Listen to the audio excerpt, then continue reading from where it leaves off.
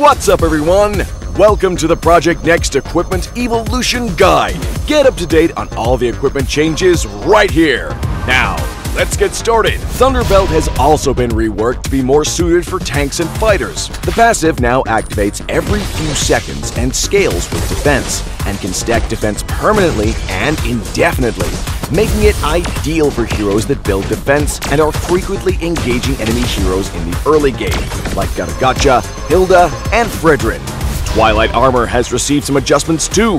Its passive effect now no longer has a cooldown, making it much more reliable to counter enemy burst damage.